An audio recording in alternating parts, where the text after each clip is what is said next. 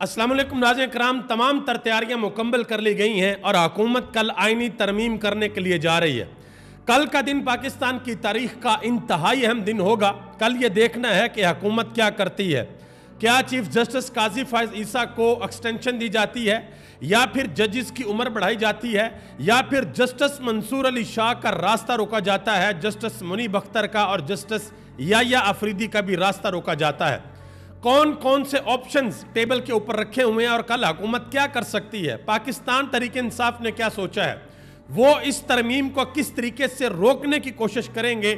और सबसे इंपॉर्टेंट बात कि क्या मौलाना फजलरहमान हुकूमत के साथ खड़े होंगे या नहीं खड़े होंगे, इसके ऊपर बात करते हैं। आज इमरान खान ने भी अडयाला जेल से इंतहाई अहम गुफ्तु की है और इमरान खान से दो तीन सवाल पूछे गए हैं, बड़े अहम। एक तो अली अमीन गंडापुर ने जो अफ़गानिस्तान के हवाले से बात की, उस पर इमरान खान से सवाल हुआ और इमरान खान ने बड़ी अहम गुफ्तु की आज। और दूसरा, आज इमरान खान से यह सवाल हुआ कि खान साहब, आप ये कहते हैं कि एस्टेब्लिशमेंट ने आपको धोखा दिया तो वो कौन सा धोखा है जो आपको एस्टेब्लिशमेंट ने दिया था? तो आज इमरान खान ने वो भी खुलकर बात बता दी है। इसके अलावा जुडिशल कमीशन ऑफ़ पाकिस्तान का इजलास आज हुआ है। जस्टिस मंसूर अली शाह, जस्टिस मुनी बख्तर और जस्टिस याया फरीदी ने उसमें शिरकत की। आज जस्टिस मुनीब अख्तर ने अटॉर्नी जनरल से एक सवाल पूछा। अटॉर्नी जनरल ने कहा, जी नहीं, हम तो आपको जवाब नहीं दे सकते। तो जस्टिस मुनीब अख्तर उठ कर चले गए। उन्होंने वॉकआउट किया। इसके अलावा पाकिस्तान तरीके इंसाफ के वो तमाम एम एन ए जिनको पकड़ा गया था, कुछ को पार्लियामेंट के गेट से बाहर पकड़ा गया था और कुछ को पार्लियामेंट के अंदर से जाकर पकड़ा गया था। वो सारी की सारी कहानियाँ शेख वकास सकम ने और बाकी सारे मेम्बरान ने बताई हैं कि किस तरीके से नकाब पोश लोग आए थे और हमें कमरों से निकाल कर गिरफ़्तार किया गया था। उनके हवाले से आज एक बड़ा अहम फैसला हुआ है। इस्लामाबाद हाईकोर्ट में भी और पार्लियामेंट के अंदर भी, वो भी मैं आपको बताने के लिए जा रहा हूँ। तो आज का विलोक इंतहाई अहम है। आगे बढ़ने से कबल आपसे गुजारिश करूँगा कि वीडियो को लाइक कर दें, चैनल को सब्सक्राइब कर दें और मेरे उन तमाम दोस्तों का बेहद शुक्रिया, जिन्होंने हमारे चैनल को सब्सक्राइब किया हुआ है। तो पहले नंबर पे आते हैं उस आईनी तरमीम पे जो हुकूमत करना चाहती है। हुकूमत की जो ज़िंदगी है, वो इस आईनी तरमीम के अंदर है। अगर ये आईनी तरमीम या तरामीम एक भी हो सकती है, बहुत ज़्यादा भी हो सकती हैं। अगर ये नहीं होती तो हुकूमत के पल्ले कुछ भी नहीं है। अब क्या क्या हो सकता है, वो मैं आपके सामने रखने लगा हूँ। सबसे पहले नंबर पे हुकूमत की ख्वाहिश है कि किसी ना किसी तरीके से काजी फायज ईसा साहब सुप्रीम कोर्ट ऑफ़ पाकिस्तान के अंदर जो चीफ जस्टिस की कुर्सी है, उसके ऊपर बरा जमा रहे। ये बंदा यहाँ से ना हिले, क्योंकि हुकूमत को लगता है कि हकूमत की जो गारंटी है कि हकूमत चलती रहेगी उसमें सबसे अहम रोल काजी ईसा साहब का है। दूसरे नंबर पे अगर ये ऑप्शन कामयाब नहीं होता कि जी मौलाना फजल रहमान साहब वोट नहीं देते तो फिर क्या करेंगे? फिर ये तमाम जजेस की उम्र बढ़ा सकते हैं, उससे ऑटोमेटिकली काजी साहब को एक्सटेंशन मिल जाएगी। और इससे बढ़कर जो चीज़ है, वो ये है कि जस्टिस मंसूर अली शाह का रास्ता रोकना है हर सूरत, जस्टिस मुनीब अख्तर का रास्ता रोकना है हर सूरत और जस्टिस याया फरीदी का रास्ता, ये इन तीन बंदों को चीफ जस्टिस नहीं बनने देना हुकूमत ने। तो इनका रास्ता रोकने के लिए यह भी कहा जा सकता है, जी, जो टॉप फाइव जजेस हैं, उनमें से किसी एक को जज बना दिया जाए। तो उसमें मैं आपको ये लिख कर देने को तैयार हूँ। मुझे लगता है कि जस्टिस अमीनुद्दीन खान, जो कि काजी फाजी, काजी फाजिसा साहब की परछाई है, उनका साया है, उनको चीफ जस्टिस बनाने के लिए हुकूमत बिल्कुल तैयार होगी। तो ये तो सिर्फ़ तरमीम है, चीफ जस्टिस की हद तक। आगे भी आ जाए, आगे भी गेम पढ़नी है। वो गेम ये है कि हकूमत इस्लामाबाद हाई कोर्ट के जजिस से बहुत ज़्यादा तंग है। इनका दिल करे तो ये आज इस्लामाबाद हाई कोर्ट के तमाम जजिस को उठाएँ और पाकिस्तान के कोने कोने में किसी को सिंध में लगा दें, किसी को बलूचिस्तान में लगा दें, किसी को खैबर पख्तूनखा के अंदर लगा दें, यानी कि पेशावर हाई कोर्ट, यानी कि ये इस्लामाबाद हाई कोर्ट फ्री करें। तो हुकूमत इस हवाले से भी कोई कानून पास कर सकती है, कोई तरमीम लेकर आ सकती है कि भाई कोई जज अगर अच्छा काम कर रहा है तो उसको किसी भी जगह पर भेजा जा सकता है। ये अल्फाज होंगे कि कोई अगर अच्छा काम कर रहा है तो। तो इस्लामाबाद हाई कोर्ट के जजिस का सारा बंदोबस्त भी किया जाएगा। अब यहाँ पर सबसे बड़ा सवाल है कि भाई हुकूमत के पास तो नंबर पूरे नहीं है। ये तरमीम किस तरीके से लेकर आएँगे? तो मौलाना फजल रहमान ने कल ये कहा था कि हम एक्सटेंशन के खिलाफ हैं। और आज उनसे दोबारा सवाल पूछा गया पार्लियामेंट के अंदर तो उन्होंने कहा कि जो हमने तजावीज़ दी हैं, अगर उसके ऊपर अमल हुआ तो फिर हम सोच सकते हैं तो वो कौन सी तजावीज़ हैं, वो नहीं पता भाई। अब कल के दिन या तो मौलाना फजल रहमान साहब साथ देंगे या नहीं देंगे। ऐसा नहीं होगा कि आप यजीद से मरासम भी रखें और हुसैन इस्लाम को आप सलाम भी करें। या फिर लोग ये बातें करेंगे और टका के लोगों ने ये बातें करनी है कि या तो आप हैं या नहीं है, या सच है, या झूठ है, या हक है, या बातिल है। ये नहीं कि आप दो कश्तियों के अंदर आप सवार हो जाए और आप कहें कि जी दोनों का मालिक भी मैं हूँ, सच भी मैं हूँ और गलत भी मैं हूँ। इस तरीके से लोग नहीं मानेंगे। तो मौलाना फजल रहमान पहली कड़ी है, बहुत इंपॉर्टेंट उनके अलावा किसी भी सूरत तरमीम नहीं हो सकती। और दूसरे नंबर पे, दूसरे नंबर पे पाकिस्तान तरीके इंसाफ के एम एन एज आज बरिस्टर गौर अली खान ने थोड़ी देर पहले प्रेस कॉन्फ्रेंस किया कि हमारे पाँच एम एन एज को लापता कर दिया गया है। आप अंदाज़ा लगाएँ। आईनी तरमीम होने के लिए जा रही है और पाकिस्तान तरीके इंसाफ के पाँच एम एन एज को लापता कर दिया गया और सादुल्ला बलोच जो है, उनके बारे में तरीके इंसाफ कह रही है कि वो एजेंसियों की तहवील में है। तो तरीके इंसाफ को अभी से इसके ऊपर वर्किंग करनी होगी, ये ना हो कि देर हो जाए और कल को आप फिर ये कहें कि जी इसने भी अपना ज़मीर बेच दिया, इसने भी इमरान खान इमरान खान के पीछे ये भी खड़ा नहीं हुआ। तो अभी से आपको वर्किंग करनी चाहिए। इस हवाले से एंकर इमरान राज खान ने भी एक बड़ा अहम ट्वीट किया। अच्छा एक बहुत बड़ा सवाल है कि क्या तरीके इंसाफ के बंदे टूट जाएँगे? क्या वो अपने आप को बेच देंगे? क्या वो कॉम्प्रोमाइज कर लेंगे? तो उसकी एक मिसाल मैं आपको दे देता हूँ कि जब 8 फरवरी का इलेक्शन हुआ, उसके बाद तरीके इंसाफ के लोगों के ऊपर बहुत ज़्यादा प्रेशर था। यहाँ तक दावे किए गए कि बस ये तीस बत्तीस लोग होंगे और ये बीबे बच्चों की तरह अपोजिशन करेंगे। एक बंदा भी तरीके इंसाफ का नहीं टूटा। एक बंदा भी नहीं टूटा। हाँ एक टूटा था। उसके बारे में आपको बताता हूँ। उसका नाम था वसीम कादर। लाहौर से था और उसने इलेक्शन जीत, इमरान खान के नाम पर वोट लिया इलेक्शन जीता और इलेक्शन जीतने के बाद चला गया रायवंड और जाकर मोहतरमा मरियम नवाज़ साहबा के साथ खड़े होकर उनके बगल में उसने तस्वीर खिंचवाई। तो वो एक बंदा था जो टूटा था।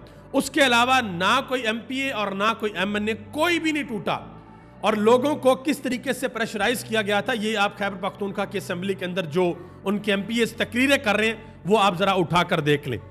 अब आगे आ जाए आज जुडिशल कमीशन ऑफ़ पाकिस्तान का इजलास भी हुआ है। उस इजलास के अंदर जस्टिस मंसूर अली शाह जस्टिस मुनी बख्तर और गालबन जस्टिस या अफरीदी भी थे अटॉर्नी जनरल भी थे। तो जस्टिस मुनी बख्तर ने सवाल किया कि भाई वज़ीर कानून कहाँ पे हैं? आखिरी जो अजलास हमने मोखर किया था बात हो रही थी कि जी आईनी तरमीम आ रही है तो वज़ीर कानून कहाँ पे हमें बताओ जरा कौन सी आईनी तरमीम लेकर आप आ रहे हो। हुकूमत क्या करना चाह रही है? तो आगे से अटॉर्नी जनरल ने कहा कि ये आपका मैंडेट नहीं है कि आप हमसे ये सवाल पूछें। तो जस्टिस मुनी बख्तर ने इस चीज़ के ऊपर फिर वॉकआउट किया और वो उठकर चले गए। और काजी फायसा साहब भी मौजूद थे। उन्होंने इजलास को जारी रखा। देखते हैं कि इसमें से क्या निकलता है।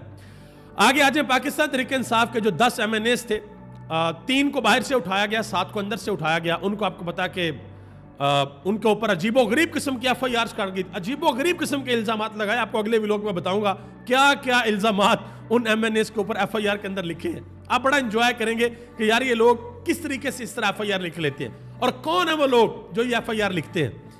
अब उन तमाम एम एन एस का जो जिसमानी रिमांड दिया गया था, वो इस्लामाबाद हाईकोर्ट ने मुअत्तल कर दिया है। अब जो स्पीकर कौमी असम्बली अया सादक साहब, उन्होंने इस बात की मंजूरी दे दी है कि जो पार्लियामेंट की लॉजिज हैं, उसको सब जेल बना दिया जाए और तमाम एम एन एस को यहाँ पर लाकर ठहराया जाए। तो अब देखते हैं कि कब तक वो आ जाएँगे। अब ये जैसे इनकी जमानत अब इनकी जमानत मंजूर होगी। आज इमरान खान के वकील जो इंतज़ार हुसैन पंजोता हैं, वो पार्लियामेंट के अंदर आए भी हुए थे, वो गुफ्तु कर रहे थे। तो अब इनकी जमानतें अप्लाई होंगी, उसके बाद फिर ये लोग बाहर आएँगे। अच्छा एक और बड़ी अहम चीज़। आज इमरान खान ने जो गुफ्तु की है, इंतहाई अहम गुफ्तु की है। एक तो इमरान खान ने कहा कि किसी भी सूरत, लाहौर के जलसे से हम पीछे नहीं हटेंगे, लाहौर का जलसा हम करेंगे और टका के करेंगे और दबा के करेंगे। लाहौर निकलेगा। इमरान खान, ये मुझे वैसे इस चीज़ की समझ नहीं आ रही। इमरान खान को जिस तरीके से 8 फरवरी को बड़ा अतमाद था ना अपने लोगों पे इमरान खान को लाहौरियों के ऊपर बहुत अतमाद है, क्योंकि इमरान खान बड़ी देर जमान पार्क के अंदर रह भी हैं। इमरान खान ने योम मजदूर के ऊपर, जो मजदूरों का दिन होता तब इमरान खान ने एक रैली भी निकाली थी, बहुत बड़ी रैली थी वो, जब इमरान खान ने निकाली थी। तो इमरान खान को अडयाला जेल के अंदर बैठकर लाहौरियों के ऊपर बहुत ज़्यादा अतमाद है। अब जिस दिन ये जलसा होगा, उस दिन पता चलेगा कि क्या लाहौरिये इमरान खान के पीछे खड़े होते हैं या नहीं खड़े होते, ये बड़ी इंपॉर्टेंट बात है। आज जो इमरान खान ने बातें की हैं, अडयाला जेल के अंदर इंतहाई अहम बातें की हैं, इमरान खान से कुछ सवाल पूछे गए, इमरान खान ने उनके जवाब भी दिए हैं, वो मैं आपके सामने रखने लगा हूँ। और फिर इमरान खान की बहन अलीमा खान ने भी आज एक बड़ी अहम बात की है, वो भी आपको बताने के लिए जा रहा हूँ। इमरान खान से आज ये सवाल हुआ कि अली अमीन गंडापुर साहब कह रहे हैं कि वो अफ़गानिस्तान में जाऊँगा, मेरा वफद जाएगा, हम बात करेंगे। तो इस पर इमरान खान ने कहा कि अली अमीन गंडापुर की अफ़गानिस्तान से बातचीत और अमन कायम करने की कोशिश की, तायद करता हूँ। उनको, इन, इनको जाकर अली अमीन के पाँव पकड़ने चाहिए और कहना चाहिए कि खुदा का वास्ता अफ़गानिस्तान से जाकर बात करो। इमरान खान ने कहा कि जब तक अफ़गानिस्तान से तल्लका दुरुस्त नहीं करेंगे दहशत गर्दी में फंसे रहेंगे। सबसे कम दहशत गर्दी पाकिस्तान तरीके इंसाफ के दौर में हुई। अगर कोई दहशत गर्दी खत्म करने की कोशिश कर रहा है तो उससे तावन करें। अली अमीन गंडापुर मुल्क के फ़ायदे की बात कर रहा है। फिर इमरान खान को कहा गया कि जी, अली अमीन गंडापुर ने यह बयान दिया है कि मैं खैबर पख्तूनख्वा को आज़ाद कराऊँगा। यह किसी साफी ने पर सवाल पूछा।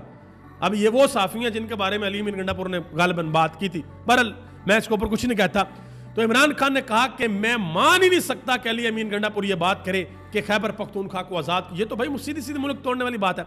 और अली अमीन गंडापुर ने मेरे नॉलेज के मुताबिक अब तक किसी किस्म की कोई ऐसी बात नहीं की। अगर की है तो काइंडली ज़रूर कमेंट बॉक्स में बताइएगा। अच्छा मजीद इमरान खान से सवाल हुआ कि वो अली अमीन गंडापुर गायब थे तो उन्होंने कुछ बताया नहीं, वो कहाँ पर गए हैं, कौन उनको लेकर गया। तो इमरान खान ने कहा कि अली अमीन गंडापुर गायब हुआ। किसको नहीं पता कि वो कहाँ पर गया? इमरान खान ने कहा कि वो इनकी लाज रख रहा है, कि वो बोल नहीं रहा। इमरान खान ने कहा कि 8 सितंबर के जलसे पर एस्टेब्लिशमेंट ने मुझे धोखा दिया। तो इसके ऊपर फिर एक साफी ने सवाल पूछा कि इमरान खान साहब, ये जो बार बार आप धोखे की बात करते हैं, जरा बताएँ तो सही ना कि आपको किस किस्म का धोखा दिया गया। तो इमरान खान ने कहा कि देखो, अडयाला जेल के अंदर कोई चिड़िया भी पर नहीं मार सकती। एस्टेब्लिशमेंट के कहने के ऊपर आज़म सवाती और बरिस्टर गौर सुबह सात बजे जेल के अंदर आए। एस्टेब्लिशमेंट की जानब से 8 सितंबर की तारीख दी गई और कहा गया कि तमाम तर सहूलियात दी जाएँगी।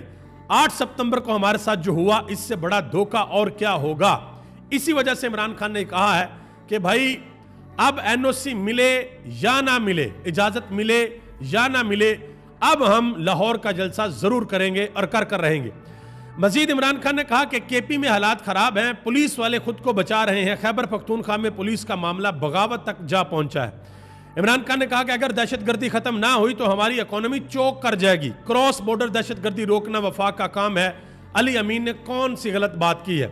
अच्छा यहाँ पर इमरान खान ने एक बड़ी अहम बात की। इमरान खान ने कहा कि जिस वक्त अफ़गानिस्तान के अंदर अशरफ गनी की हुकूमत थी और अशरफ गनी पाकिस्तान मुखालफ था, इसके बावजूद भी मैं अफ़गानिस्तान गया और अशरफ गनी को मैंने पाकिस्तान बुलाया। इमरान खान ने कहा कि उसके बाद जब पीडीएम वन की हुकूमत थी तो बिलावल भुट्टो वज़ीर खारजा बना, पूरी दुनिया घूमता रहा। जहाज़ का इंजन ठंडा नहीं होने दिया, जनाब मोहतरम, बिलावल साहब ने। लेकिन यह बंदा अपने हमसाए में अफ़गानिस्तान में नहीं गया। इमरान खान ने कहा कि नवाज़ शरीफ की हुकूमत थी, मेरा वज़ीर अला था। खटक साहब, परवेज खटक साहब, इमरान खान ने कहा, मैंने भेजा उसको अफ़गानिस्तान। क्योंकि हमारे हमसाए हैं, हमें इनसे बात करनी पड़ेगी और जो बंदा भी अमन के लिए कोशिश करेगा, सबको उसके पीछे खड़ा होना चाहिए। मजीद इमरान खान ने कहा कि डंडा लेकर मुल्क समेत सब कुछ ठीक करने की फ़िक्र करने वाले को कहता हूँ कि ऑपरेशन मसले का हल नहीं है। और मौला फजलरहमान ने कल जो बयान दिया तो उस पर इमरान खान ने कहा कि किसी भी एक्सटेंशन का साथ ना देने का मौलाना फजलरहमान का जो बयान है, ये काबिल सताइश है। लेकिन भाई, अब ये कल पता चलेगा कि मौलाना फजलरहमान सब करते क्या हैं। कल पता चलेगा ये। अभी कबल मैं, मैंने भी कल वीलो के अंदर आपको बताया था कि एक्सटेंशन प्रोग्राम खत्म शुद्ध बस अब खत्म। लेकिन आज जो मौला फजलरहमान ने बयान दे दिया ना, कि जी जो हमने जो तजावीज़ दी हैं, अगर वो आई तो फिर हम सोचेंगे तो कुछ भी हो सकता है। आपने जहनी तौर पर तैयार रहना है कि कल कुछ भी हो सकता है। मजीद एक बयान इमरान खान ने शबाज शरीफ के लिए भी दिया है। इमरान खान ने कहा कि शबाज शरीफ को वजी अजम कहने का कोई फ़ायदा नहीं, वो हर चीज़ के लिए एन लेता है। क्या पता कि कल को उसको भी गायब कर दें, शबाज शरीफ साहब को भी गायब कर दें। इमरान खान की बहन अलीमा खान ने बड़ी अहम बात की। उन्होंने कहा कि हमें पैगाम आ रहे हैं कि इमरान खान पर नए केसेस बनाकर उन्हें मिलिट्री जेल भेज दिया जाएगा। वो ऐसा इसलिए करना चाहते हैं ताकि इमरान खान से उनकी फैमिली और उनके वकला का रबता ख़त्म हो जाए। उन्होंने कहा कि अभी तो हम जाते हैं, मिल लेते हैं, इमरान खान की सेहत का भी पता लग जाता है। लेकिन अगर खुदा न खास्ता इमरान खान को मिलिट्री जेल ये ले गए, मिलिट्री कोर्ट ले गए तो फिर सारे रबते ख़त्म हो जाएँगे, लेकिन यहाँ पर मैं आपको बताता चलूँ कि इस्लामाबाद हाई कोर्ट में जस्टिस मियाँ गुल हसन औरंगज़ेब की अदालत के अंदर ये केस चल रहा है। वहाँ पर दरख्वास्त लगी हुई है कि आया इमरान खान का ट्रायल मिलिट्री कोर्ट के अंदर होगा या नहीं होगा। अली अमीन गंडापुर साहब, उन्होंने मुलाकात भी कर ली है जी। ये उन्होंने अपने ट्विटर अकाउंट के ऊपर जो chief minister K P Twitter account है, वो वहाँ पर लगाया है और तस्वीर भी नीचे लगाई है। बल्कि वीडियो थी कि वज़ीर अला खैबर पख्तूनखा अली अमीन खान गंडापुर से पशावर में तैनात अफगान कौंसल जनरल हाफज मुहिबुल्ला शाकी की मुलाकात, बाहमी दिलचस्पी के अमूर बशमूल बाहमी तजारत के फ़रोग इलाकई अमन इसकाम सूबे में मकीम, अफगान शहरीों को दरपेश मसाइल के हल समेत दीगर मामला पर तबादला ख्याल किया गया। तो अली अमीन गंडापुर ने पाकिस्तान के अंदर रहते हुए पहली मुलाकात कर ली है। हफीजुल्ला न्याजी इमरान खान का बदतरीन मुखालफ बदतरीन मुखालफ, उन्होंने एक बात की है। उन्होंने कहा कि मुल्क की सियासत का महवर अकलौता इमरान खान बन गया है। वो बचाए, हिसाब देने के हिसाब लेता है। दोबारा सुन लें, दोबारा सुन लें। उन्होंने कहा कि मुल्क की सियासत का महवर अकलौता इमरान खान बन गया है। वो बजाय हिसाब देने के हिसाब लेता है। ये हफीजुल्ला न्याजी साहब कह रहे हैं, भाई मैं नहीं कह रहे। शेर अफजल खान मरवत ने एक बड़ी अहम बात की है। उन्होंने कहा कि लाहौर में हम जलसा क्यों नहीं कर सकते? लाहौर पाकिस्तान का शहर है, हम जहाँ चाहें जलसा करें। यह जर्फ दिखाने का टाइम है, इनको चाहिए कि ये कहें कि आओ जलसा करो। हम भी देखते हैं कि तुम कितने बंदे इकट्ठे करते हो। और अब यकीन करिए, बड़ी खूबसूरत बात है। कल को अगर टाइम आया, मिसाल के तौर पाकिस्तान की सियासत है, भाई पहिया घूमता रहता है को पता थोड़ी चलता है। कल को अगर टाइम आया कि यहाँ से पंजाब का कोई मर्द वज़ीर आला या कोई खतून वज़ीर आला ये कहे कि भाई हमारी पूरे पाकिस्तान में मकबूलियत है, लिहाजा हम जाकर के पी के अंदर जलसा करें। तो क्या के पी के वज़ीर अला को यह रोकना चाहिए कि तुम पंजाब की तरफ़ से आओगे तो मैं अटक पुल क्रॉस नहीं करने दूँगा? बिल्कुल भी नहीं। बिल्कुल इस चीज़ को सपोर्ट किया नहीं जा सकता। जमहूरी माशरा है, जमहूरियत है, डेमोक्रेसी है भाई। आप कहें उनको कि ठीक है भाई, इस्लामाबाद के अंदर आपने पावर शो किया, हुकूमत के मुताबिक तो आया ही कोई नहीं। इस्लामाबाद के जलसे में तो भाई, लाहौर में किसने आना है? आपके मुताबिक। करने दें, आने दें, उनको जलसा करने दें। अल्लाह अल्लाह, खैर सल्लाह अगर आप रोकेंगे तो क्या होगा? अमन व अमान की सूरत हाल ख़राब होगी। पुलिस को आपने ऑर्डर देना है। पुलिस वाले गरीब हुक्म के गुलाम हैं। उनको जो कहा गया, उन्होंने वही करना है। होगा क्या? कि पाकिस्तानी माओ के बेटे आमने सामने होंगे, बस और कुछ भी नहीं होगा। तो इस चीज़ पर मोहतरमा मरियम नवाज़ साहबा, जो पंजाब की पहली खतून वज़ीर अला हैं, उनको ज़रूर सोचना चाहिए। और मेरा ख्याल है उनसे ज़्यादा जो उनको मशवरा देते हैं, जो मशीर हैं, उनको सोचना चाहिए कि भाई ये तरीके इंसाफ को लाहौर में ज़रा देना खुला मैदान। देखते हैं कि इनकी कितनी मकबूलियत है। भाई टेस्ट तो करो एक दफ़ा, डरने की कोई बात नहीं है। टेस्ट करें एक दफ़ा, आने दें उनको। इसके अलावा पंजाब असम्बली के जो अपोजिशन लीडर हैं, मलक अहमद खान, उन्होंने आज बड़ी अहम बात की है, बल्कि ये कल का बयान है उनका। उन्होंने कहा कि अडयाला जेल के अंदर बानी चेयरमैन इमरान खान से मुलाकात हुई। 21 सितंबर को लाहौर का जलसा होगा, जेल हमारी मुंतजर है तो हम जेल के मुंतजर हैं, हम आगे बढ़ेंगे। अच्छा ये भी बताता चलूँ कि पहले 22 तारीख रखी गई थी और अब 21 रखी गई है। मैंने काफ़ी देखा कि क्या रीज़न बनी है, मुझे पता नहीं चला, इंशाल्लाह जैसे पता चले मैं आपको बताऊँगा कि ए, एक दिन का फ़र्क क्यों डाला गया? आया इसमें कोई अदालत की तरफ़ से है या इंतजामिया की तरफ़ से क्या मसला है? आगे आ जाए जी हामद मीर साहब ने राना सनावला से सवाल पूछा अपने शो में कि मौलाना फजल रहमान ने तो मुखालफत कर दी है एक्सटेंशन की। तो राना सनावला साहब ने कहा जी मौलाना की तकरीर को बगौर सुने उनका भी वही मौक़ है जो हमारा मौक़ है। उन्होंने कहा कि उनका मौक़ हमारे करीब है पीटीए के करीब नहीं है। तो मैं एक दफ़ा फिर आपसे कहूँगा कि कल के लिए आप तैयार रहें। और आखिर में जनाब मोहतरम हामद खान साहब आखिरकार बोल पड़े हैं। सुनिएगा ज़रा क्या कहते हैं। कहते हैं कि मौजूदा चीफ जस्टिस गंदा रोल अदा कर रहा है। हम चाहते हैं कि यह जल्द अज जल्द गायब हो, क्योंकि यह तारीख का मुजरम चीफ जस्टिस है, गलत फैसले कर रहा है। हम चाहते हैं मसूफ फारग हूँ, अगला chief justice Mansoor Ali Shah notify हो। यह अहमद खान ने बात की है। देखते हैं कि कल पाकिस्तान की पार्लियामेंट के अंदर क्या होगा। बिलाशुबा कल पाकिस्तान की पार्लियामेंट का दिन एक तारीखी दिन होगा। या तो पीएमएलएन तरमीम पास करवा लेगी या पीटीआई रोक लेगी, एक ही काम होगा भाई। और तरमीम क्या क्या होंगी, ये बड़ी इंपॉर्टेंट चीज़ है, ये भी हम इंशाल्लाह कल देखेंगे और आपको मैं अपडेट करूँगा। अगली वीडियो तक इजाज़त दें, अपना ख्याल रखिएगा। आप सबका बहुत बहुत शुक्रिया। पाकिस्तान जिंदाबाद, पाकिस्तान के अवाम और पाकिस्तान के इदारे, पाइंदाबाद।